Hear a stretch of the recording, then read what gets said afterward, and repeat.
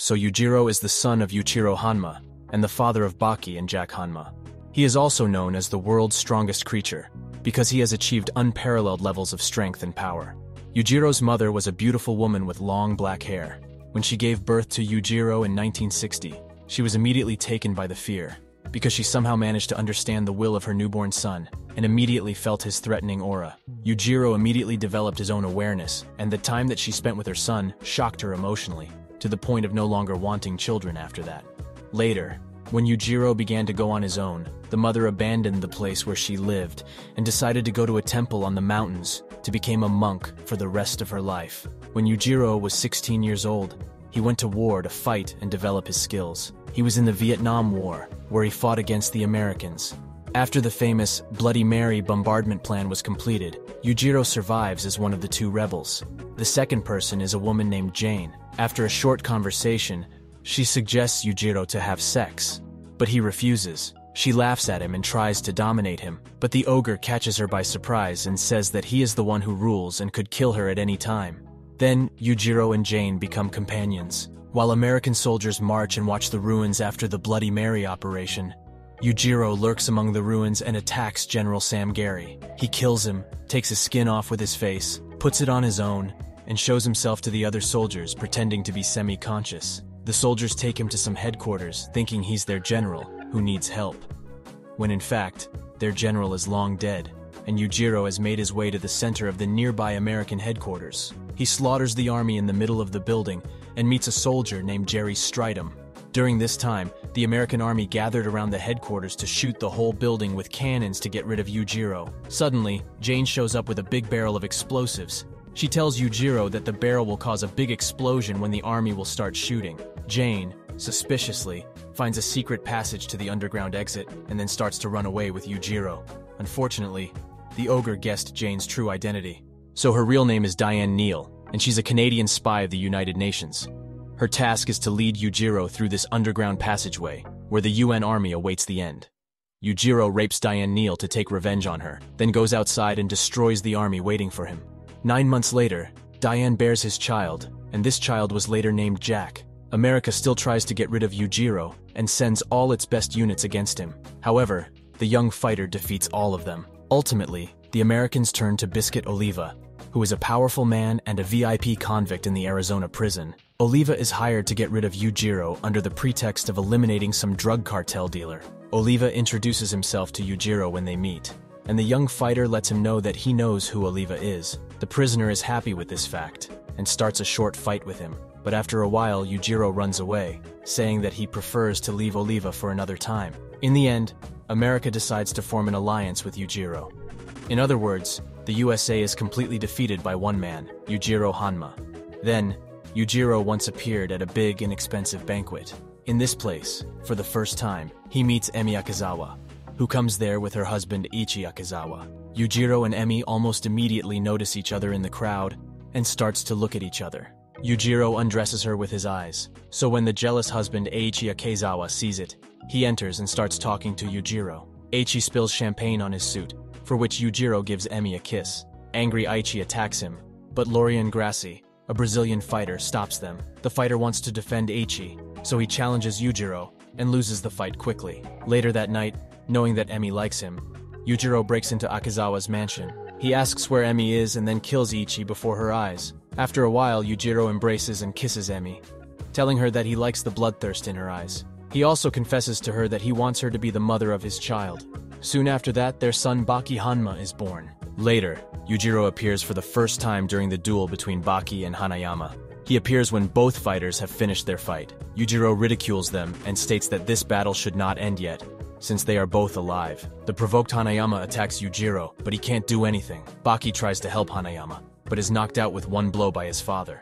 Eventually, Hanayama is almost destroyed by the strongest man in the world. He easily knocks Hanayama out, stating that he only lost his time to meet such weaklings. Later, Yujiro visits Emi Akazawa, who is surprised and happy to see him. She tries to throw herself into his arms, but he rejects her and criticizes her for not having brought up Baki in a proper way, stating that their son is still too weak. He also tells her that he will now take their son's development into his own hands. After a while, Emi gets angry and rushes with a razor at Yujiro, who easily stops her. Her bloodlust makes him happy, and he kisses her.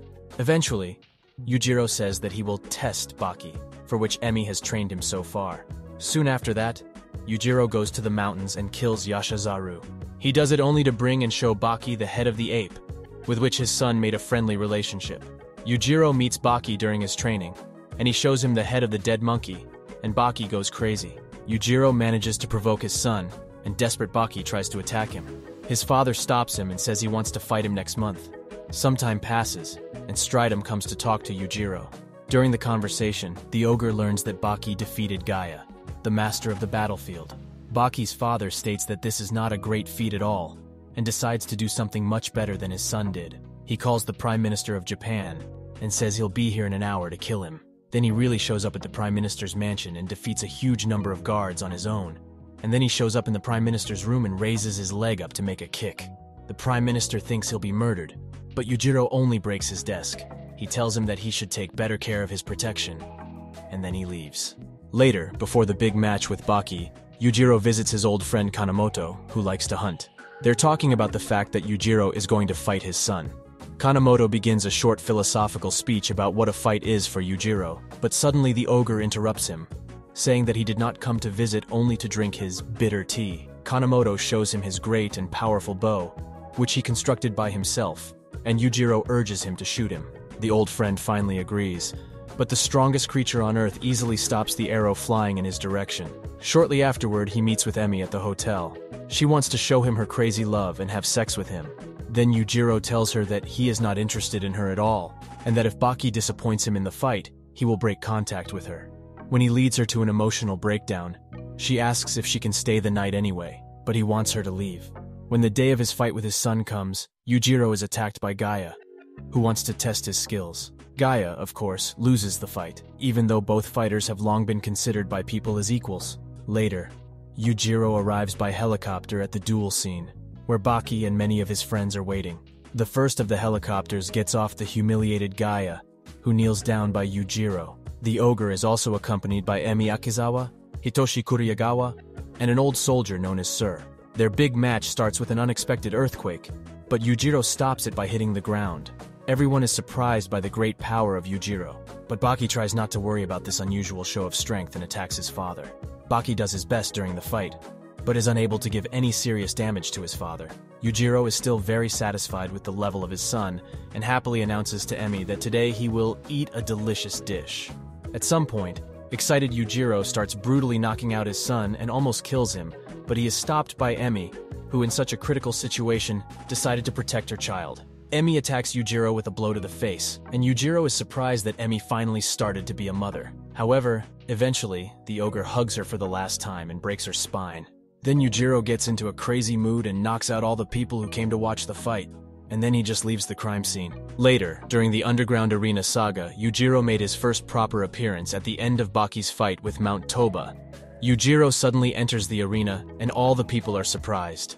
Baki is furious at the sight of his father because this is their first meeting in a very long time. He rushes at him impulsively, but Yujiro effortlessly knocks out Baki. He is seen by Doppo Orochi, who also enters the arena. Doppo tells him that he still hasn't forgotten the scars, which are a reminder of their former struggle. Both fighters attack each other, but after a while they stop, and Doppo asks the chairman, Mitsunari Tokugawa, to set up a match between him and Yujiro, and Tokugawa happily agrees to this offer. Later that night, Stridum drives Yujiro to a local boxing gym, where he starts a fight with the reigning boxing champion. During that fight, Yujiro admits that beating other people is better for him than having sex. Yujiro then effortlessly defeats the champion named Yuichi Tatsumi, with everyone at the gym and then leaves. Later, one day Yujiro meets with Izu Motobe on the street. Motobe tells him that he felt jealous when he found out that Doppo is going to fight against the ogre. He also tells him that he wants to settle personal business with Yujiro. The ogre decides to fight on the grass rather than concrete, and Motobe takes this as an act of fear by Yujiro. He thinks that Yujiro doesn't want to fight him on concrete, because Motobe is a master of using throwing techniques during the fight. Yujiro states that he doesn't want anybody to interfere. Motobe shows that he has made great progress during his last years of training, and Yujiro even praises him for that. But unfortunately, he has no chance to win against the strongest creature on Earth. Eventually, Yujiro knocks him out by throwing him to the ground. Mockingly stating that Motobe is lucky because they didn't fight on concrete. Later, just before the start of the big clash, Yujiro lies down and relaxes in the locker room of the underground arena. When the fight begins, Doppo starts off the fight by jumping on top of Yujiro and putting him in a full-body headlock. Yujiro reacts by running and jumping off a wall, then slamming his back to the ground. Doppo dodges in time and then delivers an axe kick at Yujiro, which the ogre dodges. Yujiro tries to use the Udande technique against Doppo, while at the same time Doppo uses the Meba stance, which is also a defensive-based style. Yujiro attacks first, giving Doppo the benefit of the attack, and he punches the ogre five times in the chest. Yujiro stands up, undamaged, and wildly punches at Doppo, while Doppo tries to block. The fight continues, and Doppo uses Sangan, a fighting technique that allows the user to block all the opponent's strikes by making the user's eyes mimic that of a chameleon's. Therefore, he was able to see attacks from all directions on Yujiro. The ogre is unable to get past this defense, and Doppo then proceeds to continually punch Yujiro.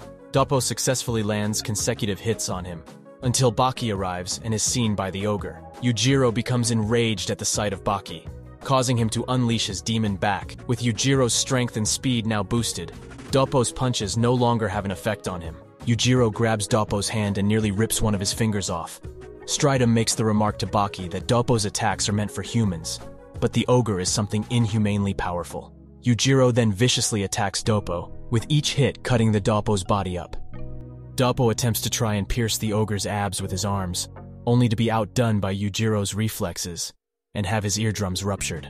Doppo falls to the ground for a few seconds, with everyone watching thinking he is done. Doppo stands back up to keep fighting, but Yujiro then suddenly rips Doppo's right eye out of its socket, and the ogre finishes the match by delivering a punch directly to Doppo's heart, which ends up almost killing him. Later, he comes to see his son's fight against Kureha Shinogi. At some point, it seems that Baki has lost, and then Kureha provokes Yujiro to come down to the arena. Yujiro accepts the offer and comes to him, but then Baki rises up and tells his father to not interfere. The ogre looks at Baki's fighting position and guesses what technique his son will try to use.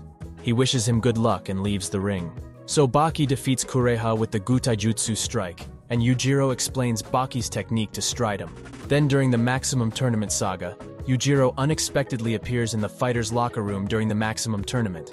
Tokugawa asks him to not destroy his tournament, and Yujiro says he only came to watch. Nevertheless, he wants his young companion, Yu Amanai, to join the tournament. The ogre breaks the spine of one of the competitors to free up space for his companion. Amanai sees this brutal act and hits Yujiro with his open hand in the face, telling him that he recognizes him as a fighter but hates his violence. At first, it is unknown who Yujiro's comrade is, but then it turns out he's a martial artist who met Yujiro in the USA. When Amanai worked for the American government, the ogre was impressed by the fighting style and philosophy of Amanai, so he brought him to Japan. Most of the time, Yujiro sits next to Tokugawa during the tournament and watches the fights. At some point, he gets bored and goes outside he meets a Muay Thai champion named Chamuan. Their fight is very short, and Yujiro beats him with just one finger. When Chamuan is knocked out, Yujiro smiles and says that this should satisfy him for a while. During the tournament, Yujiro meets Jack Hammer.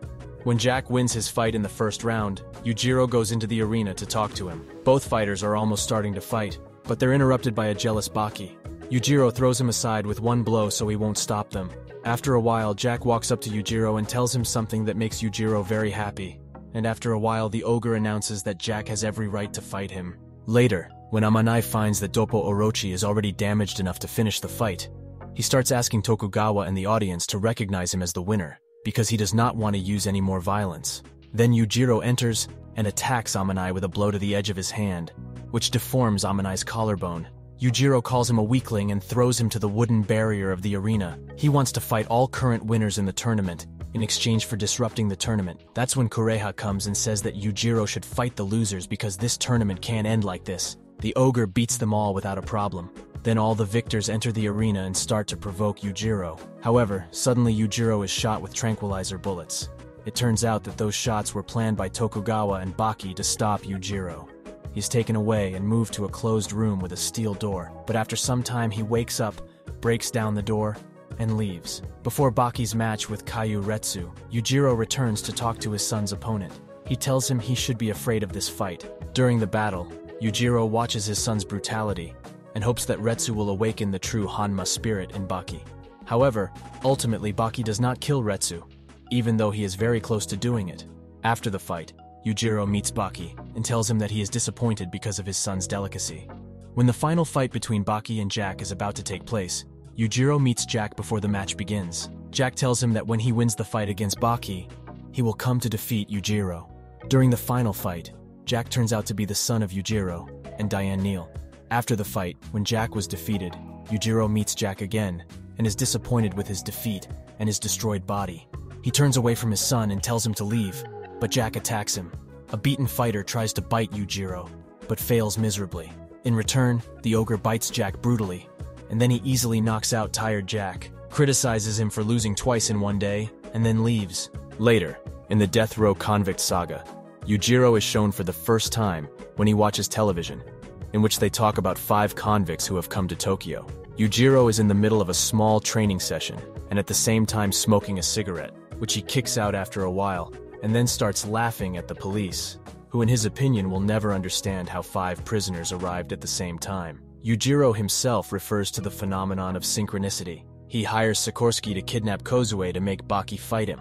Later, he briefly scuffles with Sikorsky, but then Oliva shows up to arrest Sikorsky. Then he visits Baki and his girl in the middle of the night and encourages Baki and Kozue to have sex as many times as possible in order to make Baki stronger. Later, he brutalizes Yanagi for refusing to admit defeat to Motobe after getting his arm cut off. Then in the Great Chinese Challenge Saga, Yujiro decides to test Muhammad Ali Jr. and is pissed when Jr. left the match unfinished. He fights Ryu Kaioh and violently rips off his face. He later fights Kaioh Kaku, who manages to put up a good fight, but the fight ends when Kaku suddenly dies of old age. Yujiro then meets Kaku after he was revived and promised him to fight again in a century. Then in godlike Clash of the Kids saga, Yujiro visits Muhammad Ali, and they talk about the outcoming fight between their sons. He tells Ali that Baki, while not being perfect, still has his Hanma blood flowing in him. Later, he goes to the underground arena and announces the beginning of the fight. After Baki's victory, Yujiro is challenged by his Baki. He gets excited and recognizes Baki as his prey. He leaves the arena while he says to Mitsunari that he'll be waiting for his call. He then flies to Africa and fights against a lion. While Yujiro was in Africa, a giant monstrous elephant was rampaging and killed 41 humans and 977 animals. After the elephant destroys the task force led by Saman, Yujiro shows up and kills the elephant very easily. Right after this, he leaves and goes to a summer house and stays for a while. One day, Jerry Stridham visits him. Then, Yujiro learns from Stridham about Baki's special training, and he laughs at this because of how ridiculous he finds Baki's way of training. Later, during the Great Prison Battle Saga, at the end of the Jun Govaru and Biscuit Oliva's battle, Yujiro briefly shows up in Govaru's hallucination, congratulating him on beating Biscuit Oliva.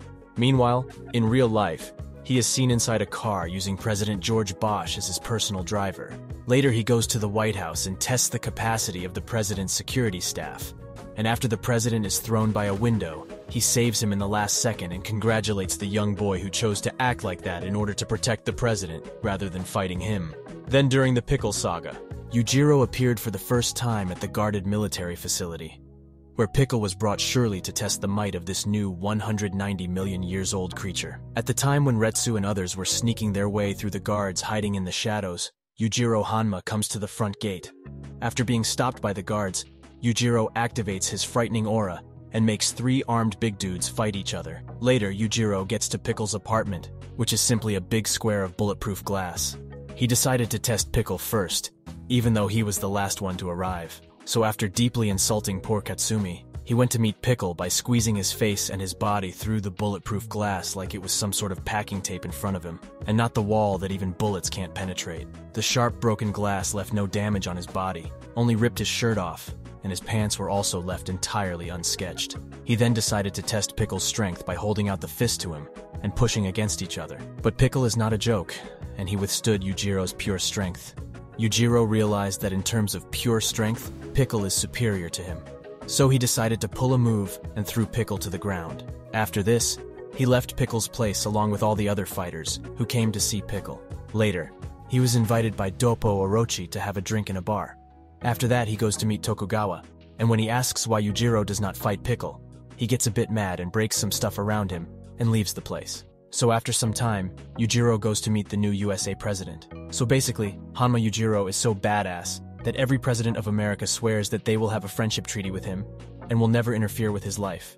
Simply Yujiro can do whatever he wants, kill whoever he wants, and take whatever he wants in the USA, and he will be good with that. After that, the president wanted to see if Yujiro can turn coal into diamonds with his bare hands, and Yujiro fulfills his wish by doing it easily. Then Yujiro goes to the Arizona State Prison, where he and Biscuit Oliva face off against each other. Yujiro first knocks out Biscuit with a direct punch to his face, and when Biscuit decides to use his grip strength, he was again overpowered by Yujiro. And it simply proves that Yujiro is much more stronger than Biscuit Oliva, even without using the demon back. After some time, Stridum gets ready by wearing highly advanced armor, the armor was equipped with a lot of explosives, and he planned to fight Yujiro Hanma using this armor. As he was mentally preparing himself to fight, Yujiro suddenly appears behind him and scares the crap out of him. He gets ready to attack Yujiro, but Yujiro just finds it funny and laughs at him. He thanks him for making him laugh this much. But in the next moment, Yujiro kicks his helmet and tells Stridum if he wants to really break their promise and fight against him. He still thinks that he might have a chance against him, but then he realizes that his armor was already sliced into pieces. And after witnessing this, Stridum just gives up. Later, when Yujiro's and Baki's final fight was coming close, Yujiro goes to meet Tokugawa and tells him to get a complete body checkup. Tokugawa was surprised and asked Yujiro why does he care about him. He starts shouting at Yujiro. Then suddenly he started coughing blood and soon he passed out. Yujiro tells Tokugawa's maid to call a doctor and then he leaves. As he was walking on the streets, he was able to notice everyone's weakness who was coming into his sight. It was like Yujiro's eyes can see through their bodies, and he was able to find every single person's weakness with just one look. Yujiro then goes to a restaurant in New York City. Their stridum tells him that Baki is now somewhat of a famous person in this world, which clearly infuriates Yujiro. Yujiro asks for more details, and Stridum tells him that Baki wants to have a normal father and son dinner with him. The President of the United States was having a secret meeting with the top leaders of Japan, and he was showing them the coal that Yujiro Hanma crushed for him. But then their meeting was interfered by Yujiro himself, and his sudden appearance scared the shit out of everyone present there. Yujiro was infuriated, and he crushed the jar carrying the coal dust and made a cross with it, then told the USA president to repeat his oath in front of him. When the president repeats his oath, Yujiro shouts at him and tells him that he doesn't seem to respect his oath because he's trying to interfere in a quarrel between him and his son. The president says that the fight between Yujiro and Baki is not just any normal fight. It's more like a fight between nations, and they have to observe it closely. Yujiro likes his honesty and tells the president to not enter his field of vision when he will observe their fight from the side. Later, it was shown on a news channel that thousands of people were walking on a bridge, and at the same moment, lightning struck the bridge, but no one was injured by that lightning. It was because the lightning actually struck Yujiro, and at the moment of impact, Yujiro's entire skeleton became visible. His skull was in the shape of a monster, and everyone who saw that image, including the news reporters, was completely shocked and could not believe that it was actually real. Later, at his place, Baki was preparing coffee, but then suddenly Yujiro pays him a visit, and it was so sudden that Baki did not know what to do in this situation. But still, he made coffee and gave it to his father as well. Yujiro got angry because he didn't enjoy it, so Baki apologized for it as well. After talking for some time and ripping Baki's table into four pieces, Yujiro left Baki's place and told him that he will have dinner with him. So Baki prepares dinner for Yujiro and fixes the table that Yujiro had previously broken.